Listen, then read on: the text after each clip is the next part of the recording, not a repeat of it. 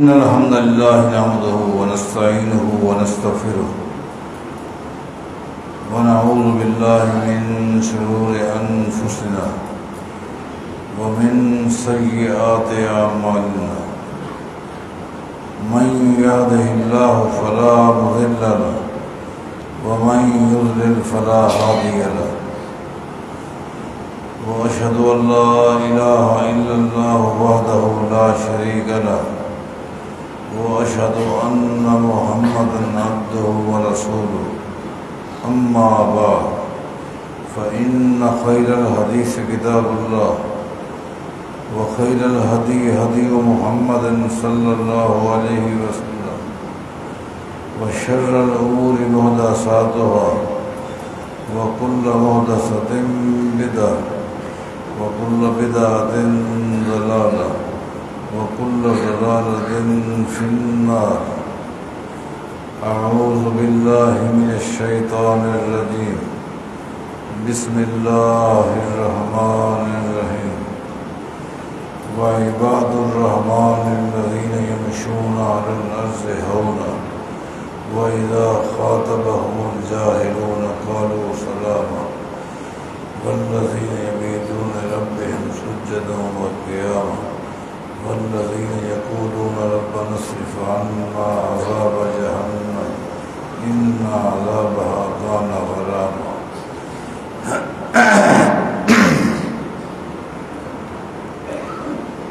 ابھی مجھ سے پہلے آپ نے ہماری جماعت کے نوجوان محقق عالم دین، شیخ محمد حسین میمن حافظ اللہ سے میرے متعلق جو کچھ سنا ہے، یہ محض ان کی محبت تھی۔ یہ ان کا حسن زن تھا۔ البتہ دعا کریں کہ اللہ ان کے حسن زن پر مجھے پورا اترنے کی توفیق عطا فرمائے۔ اور محب الصالحین ولست منہم۔ لعل اللہ یرزقنی صلاح میں خود تو نیک نہیں ہوں، لیکن نیک لوگوں سے محبت ضرور کرتا ہوں۔ ہو سکتا ہے، اللہ تعالیٰ مجھے بھی انہیں میں شامل فرما دے، نیک بنا دے۔ ماشاء اللہ ہمارے ساتھی کی بڑی اچھی آج کے اس پرفتن دور میں دفاع حدیث کے حوالے سے انہوں نے باقاعدہ ایک ادارہ قائم کر کے محنت کی ہے، اپنی جیب سے خرچ کر کے بہت کچھ قلمی انداز میں۔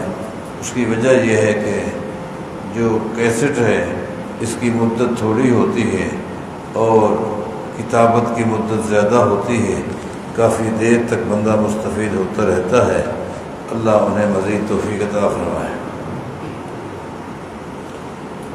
ابھی ہم نے محترم قاری محمد رفیق صاحب حفظ اللہ سے تراوی کی نماز کی ابتدا میں ادا کی ہے۔ یہ جو تراوی کی نماز ہے، یہ لفظ جو ہے محدثین کی اصطلاح میں ہے، اس کو تراوی بولتے ہیں۔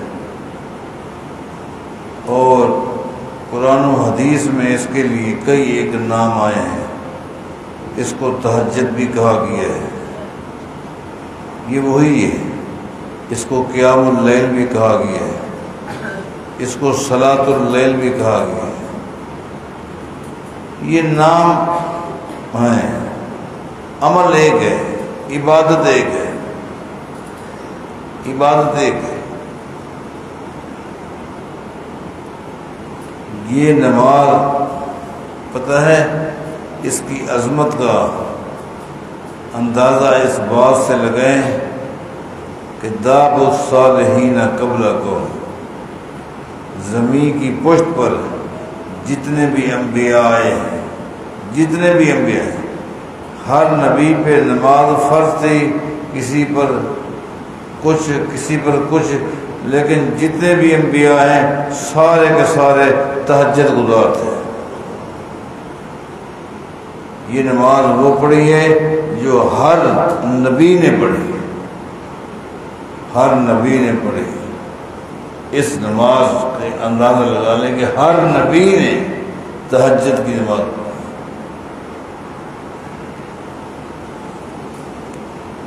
گیارہ مہینے میں اس کی ادائیگی کے لیے حکم ہے کہ آدھی رات کے بعد ہی پڑھیں۔ یہ ایک اسلام نے آسانی کی ہے کہ اس مہینے میں اس بندے نے رات کو اٹھ کے دو کام کرنے ہیں، تہجد بھی پڑھنی ہے ساری کا بندوبست بھی کرنا ہے۔ کبھی ٹائم کم ہوتا ہے، اس لیے اسلام نے آسانی کی ہے کہ عشاء کے ساتھ اس کو پڑھیں ہر مسلمان کو چاہیے کہ تہجد کی نماز پڑھے۔ جس کی کم از کم دو رکعت ہے۔ کم از کم از کم دو رکعت۔ رات کو اللہ توفیق دے اٹھنے کی۔ اٹھنے کی توفیق دے دے قضاء حاجت کے حوالے سے بندہ اٹھ جاتا ہے۔ چلو اٹھی گیا نا جی۔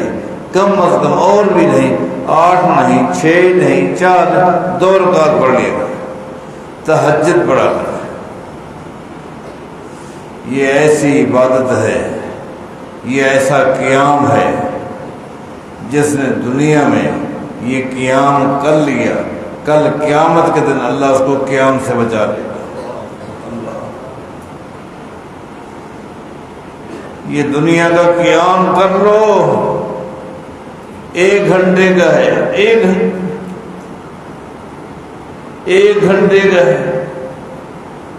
میرے بھائیوں، میری بہنوں، یہ دنیا میں جو قیام ہے، یہ صرف ایک گھنٹے کا ہے۔ ایک گھنٹے۔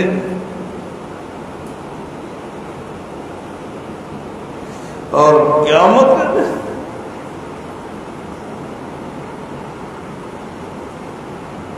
قیامت کے دن کا قیام پچاس ہزار سال کا ہے۔ اللہ، پچاس ہزار سال۔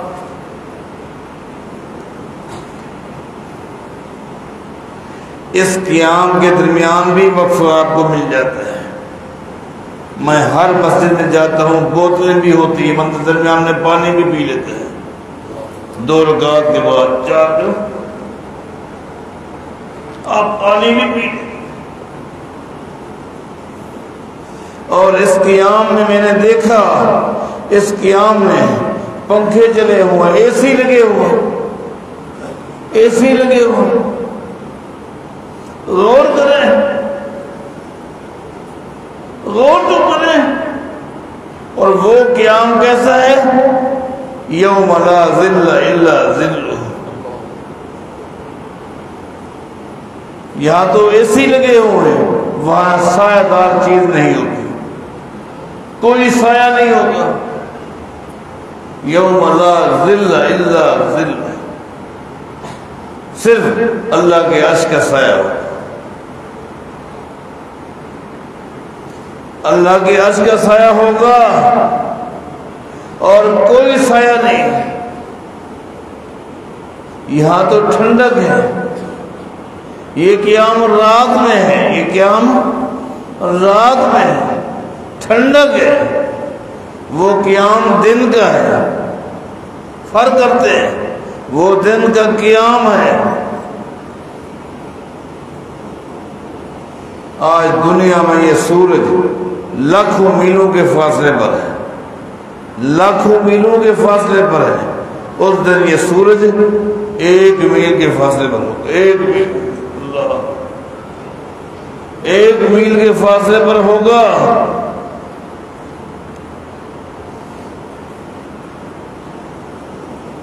اتنا لمبا قیام۔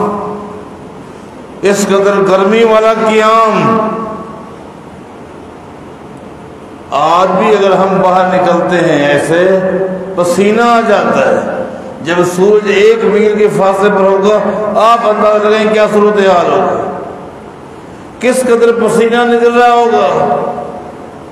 کیا کیفیت ہوگی؟ اور وہاں کوئی خیر خواہ نہیں ہوگا؟ یوم یفر المرء من اخی و ام ہی و ابی و صاحبت ہی و بنی لکل امرئ منہم یوم اذن شان یغنی۔ کوئی ہمدرد نہیں ہوگا؟ کوئی خیر نہیں ہوگا؟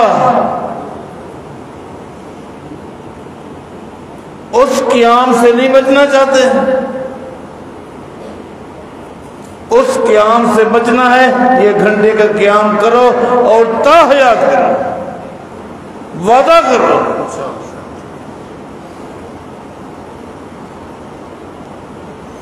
اتنا لمبا قیام کہاں کر سکیں گے ہم؟ کر سکیں گے؟ ہے ہمت۔ ممکن نہیں ہے۔ ممکن نہیں ہے۔ ہمارے بس میں نہیں ہے۔ لوگ پسینوں میں غرق ہوں گے۔ پسینوں میں غرق۔ اللہ۔ بعض بد نصیب تو اپنے پسینے میں گوتے کھا رہے ہیں۔ اپنے پسینے میں۔ اپنے پسینے نے گھیرا ہوگا۔ اور وہ چشمے کی طرح گوتے کھا رہا ہو اپنے پسینے میں۔ بتاؤ، وہاں کہاں قیام کر سکیں گے ہر بندہ رو رہا ہوگا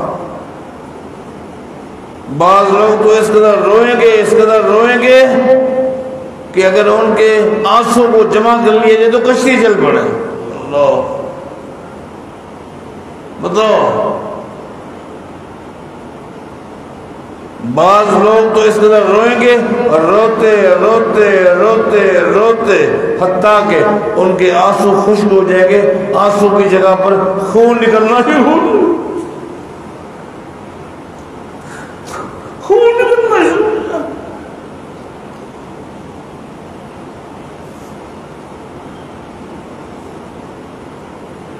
ہاں۔ آج جس نے قیام کیا، رو رو کر قیام کیا۔ وَرَجُلْ ذَكَرَ اللَّهَ خَالِيَ فَفَاظَتْ عَيْنَا رات کو قیام کر رہے آنکھوں سے آنسو نکل رہے کل اللہ تعالیٰ اس کو قیام سے بچا کر اپنے عرش کے سائے کے لیے جگہ دیتے بیٹھ جائے بتاؤ، بیٹھ جائے اس کو سائڈ میں اٹھا دیا جائے۔ کیونکہ معمولی بات ہے اس پر غور تو کریں آپ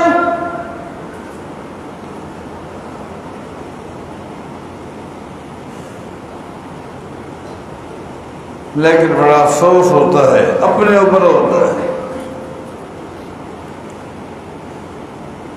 میں سمجھتا ہوں شیخ جی جتنا کاروبار ہم اس مہینے میں کرتے ہیں، گیارہ مہینے کرتے ہیں۔ اس کے باوجود جذبہ ہے قیام بھی ہو رہا ہے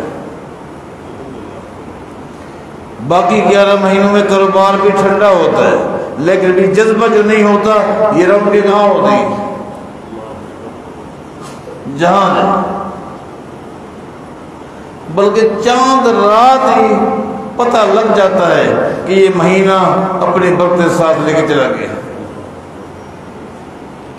چاند، رات ہی چاند رات ہی پتہ لگ جاتا ہے کہ یہ مہینہ آیا تھا۔ اور اپنے ساتھ برتے لے کر چلا گیا۔ وہ رونے ختم ہو ایک عجیب کیفیت ہوتی ہے، عجیب۔ عجیب کیفیت۔ اس لیے آج تہیا کرو اس نماز کو تاحیات ہم نے پڑھنا اس کے کس قیام کے بدلے میں نے آپ کو بتا دیا قیامت کے دن کے قیام سے بچ جائیں گے۔ جو قیام نہ میرے بس میں ہے، نہ آپ کے بس میں ہے۔ ہم کہاں کر سکتے دنیا میں ایک گھنٹے کے قیام میں ہم تھک جاتے ہیں۔ قاضی صاحب کبھی ڈیڑھ پارا پڑے تو ہماری آوازیں آ جاتی ہیں۔ قاضی صاحب کیا ہوگی ہم تو تھک گئے ہمارے گھٹنے جواب دے گئے یہی بات ہے۔ تو وہاں اتنا لمبا قیام کس کو کہو گے؟ کیا بنے گا؟ ہاں آج اگر ہم یہ قیام کرتے ہیں تا یا میں بزرگوں کے مقابلے میں نوجوانوں کو مقابل ہوں بڑھاپے میں تو فکر آ ہی جاتی ہے. نوجوانوں، جس حدیث میں آتا ہے کہ قیامت کے دن صرف عرش کا سایہ ہوگا، کوئی نہیں، اس میں یہ بھی ہے وہ شاب نشا فی عبادت اللہ جس نوجوان نے اپنی جوانی جس نوجوان نے اپنی جوانی اللہ کی عبادت میں گزار دی، اللہ اس کو بھی عرش کے سائے کی جگہ دے گا۔ کیونکہ نوجوان پر بنسبت دوروں کے شیطان کے حملے تیز ہوتے ہیں۔ شیطان کے حملوں کی زد میں ہوتے ہیں۔ خواہشات، تمنیات، مادیت کی یلغار ان تمام سے کٹ کر جو جوانی دینداری میں گزارتا ہے، نبی علیہ السلام فرماتے کل قیامت کے دن اللہ اس کو اپنے عشق سائے نصیب کرے گا۔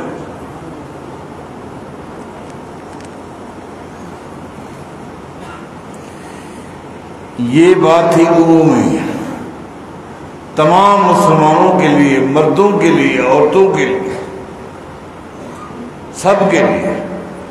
ایک خصوصی حکم ہے اور وہ قرہ حضرات کے لیے ہے حفاظ کرام کے لیے۔ ان کو خاص طور پر نبی علیہ السلام نے مخاطب کیا، یا اہل قرآن او ترو یا اہل قرآن خاص طور پر۔ او ترو یا اہل القرآن، حافظو، تم تو ضرور تحجد پڑھا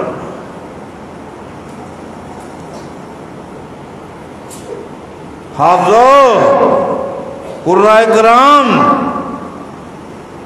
آج آپ ہماری امامت کرا رہے ہیں، اچھی بات ہے۔ گیارہ مہینے تو ہم آپ کو نظر نہیں آئیں گے، لیکن آپ اللہ کو قیام کی حد میں نظر آئے آپ قیام کریں۔ آپ کو حکم ہے۔ نبی علیہ السلام نے حکم دیے۔ حافظوں کو حکم دیے اگر آپ کے لیے الگ حکم ہے، تو آپ کا مقام بھی ایک الگ ہے۔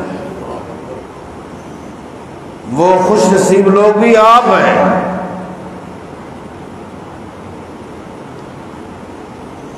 نبی علیہ السلام کا فرمان ہے،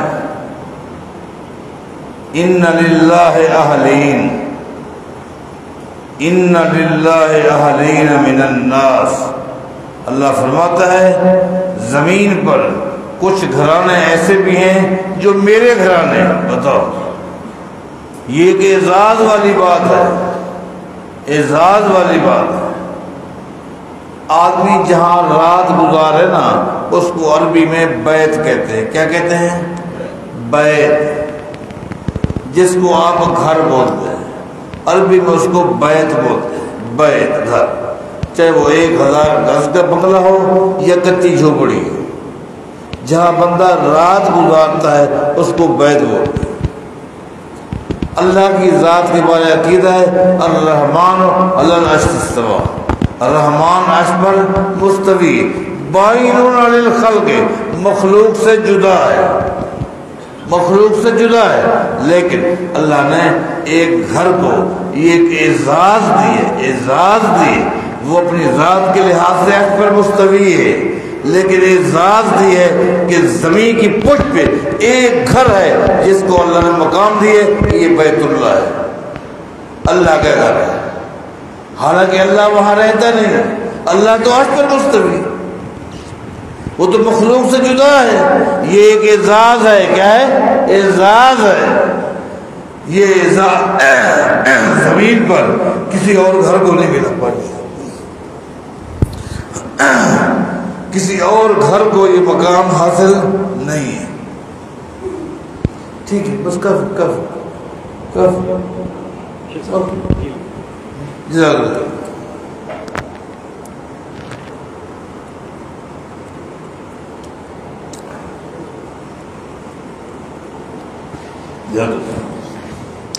یہ ایک اعزاز کی بات ہے۔ جس طرح اللہ نے بیت اللہ کو اعزاز دی ہے، اعزاز دی، اسی طرح زمین پر کچھ گھر ایسے ہیں جن گھروں کو اللہ نے یہ مقام دیا، اللہ فرماتا ہے، یہ میرے گھرانے ہیں۔ یہ میرے گھرانے ہیں۔ ان للہ اہلین من الناس۔ زمین پر کچھ اللہ کے بھی گھرانے ہیں۔ صحابہ کرام تو حیران ہو گئے۔ زمین پر اللہ کے گھرانے اللہ کی تو تعریف یہ ہے۔ کل هو اللہ احد اللہ الصمد. لم یلد ولم یولد ولم یکن له کفوا نہ اللہ کا خاندان ہے، نہ اللہ کی برادری ہے، نہ اللہ کی اولاد ہے، نہ اللہ کے ماں باپ ہے۔ تو اللہ کے گھرانے زمین پر کیسے آ گیا؟ من ہم یا رسول اللہ؟ صاحب رسول، یہ زمین پر اللہ کے گھرانے کون سے نبی علیہ السلام نے کیا فرمایا فرمایا کہ اہل القرآن ہم اہل اللہ و خاصت اہل القرآن اہل القرآن ہم اہل اللہ و خاصت ہو نبی علیہ السلام فرماتے ہیں، جو جس جس گھر میں حافظ رہتا ہے، اللہ۔ جو حافظ کا گھر ہے، کون سا حافظ من کر القرآن فستر ہر ہو وہ حل وہ حافظ کے گھر جو حافظ قرآن کا حافظ ہے اور قرآن کے معنی کو جانتا ہے، مسائل کو جانتا ہے، قرآن کریم کے حلال سے واقف ہے، حرام سے واقف ہے، اس کے مطابق عقیدہ ہے، اس کے مطابق عمل ہے۔ یہ جو حافظ ہے نا، اس طرح کا حافظ جو اس کے گھر ہے، اللہ فرماتا ہے، یہ میرا گھر ہے۔ یہ کتنے بڑے اعزاز کی میرے بھائیوں کوشش کرو کوشش کرو۔ ہم سب کے گھر جو ہے، وہ اہل اللہ بن جائے۔ اہل اللہ بن جائے۔ ہم میں سے ہر ایک کے گھر میں ایک حافظ ہونا چاہیے۔ ایک حافظ ہونا چاہیے۔ حافظ بھی ہو۔ اس کے پاس قرآن کریم کا علم بھی ہو۔ اس کے پاس قرآن کریم کا عمل بھی ہو۔ یہ ہونا چاہیے۔ یہ ہونا چاہیے۔ اس کی برکات ہے لہذا آج ان باتوں کا ہم اللہ کے ساتھ وعدہ کریں کہ انشاءاللہ ایک تو یہ ہے کہ ہم تہجد گزار بنیں گے انشاءاللہ۔ قرآن کریم کو حفظ کرنے والے بنیں گے۔ خود نہیں کر سکے، اپنی اولادوں کو، اپنے پوتوں کو، اپنی پوتیوں کو، اپنی بیٹیوں کو قرآن کریم کا حافظ بنائیں گے اور عالم بھی بنائیں گے۔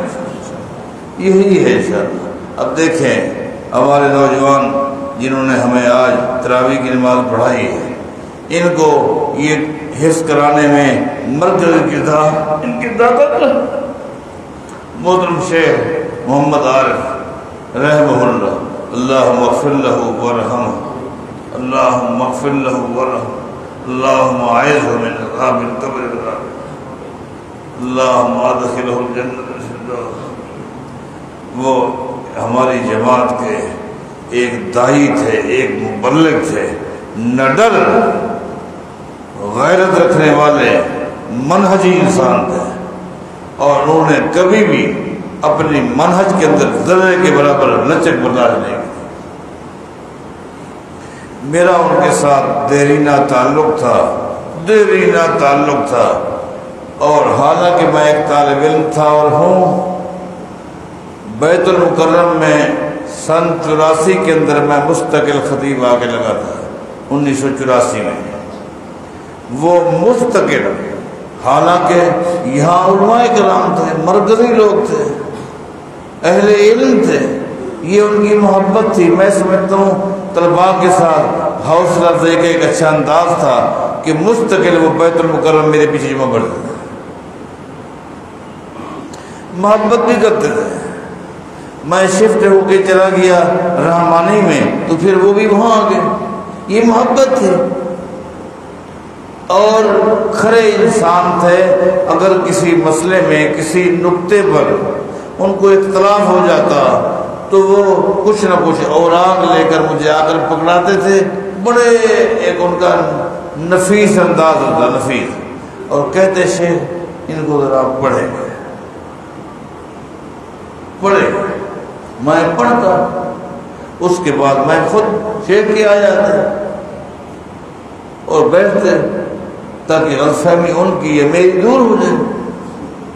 اس شخص نے محنت کی اور اپنے گھر میں، ماشاءاللہ آج ان کے گھر میں سارے آپ کو حافظ، دیندار، سنت کے پابند سب و سلاد کے پابند لباس، حجامتیں وضا قطع۔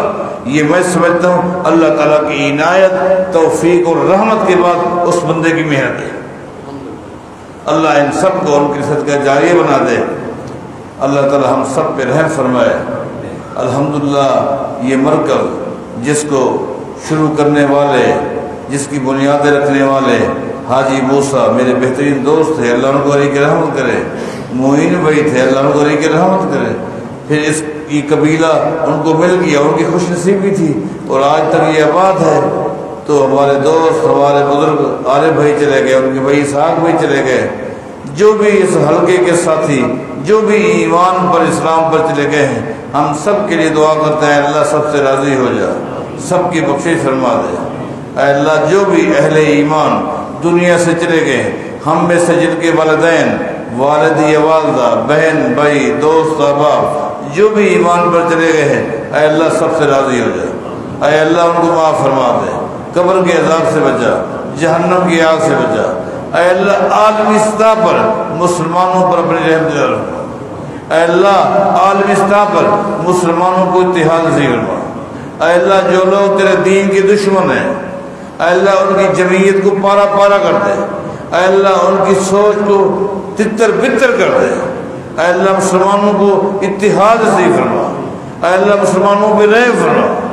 اے اللہ جو بیمار ہیں، ان کو صحت عطا فرما۔ اے اللہ جو پریشان حال ہیں، ان کی پریشانی دور فرما دے۔ اے اللہ رزق کی حلال کی توفیق عطا فرما۔ رزق کی حلال توفیق عطا اے اللہ دنیا اور آخرت کی بھلائیاں ہم سب کو نصیب فرما۔ اقول قول هذا واخر الحمد لله